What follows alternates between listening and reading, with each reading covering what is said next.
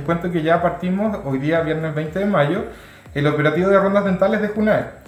¿De qué se trata esto? Eh, la JUNAEP otorga atenciones dentales a niños desde prekinder a octavo año básico, eh, donde nosotros tratamos de recuperar ¿cierto? la salud bucal y evitar de que los niños por algún problema dental tengan ausentismo escolar. Ese es el principal objetivo del programa. Entonces, hacemos dos tipos de atenciones, ingreso a aquellos pacientes que nunca han sido atendidos por el programa oral de FUNAEP y controles a aquellos pacientes que ya hemos atendido en años anteriores y que retomamos las atenciones eh, anuales, ¿ya?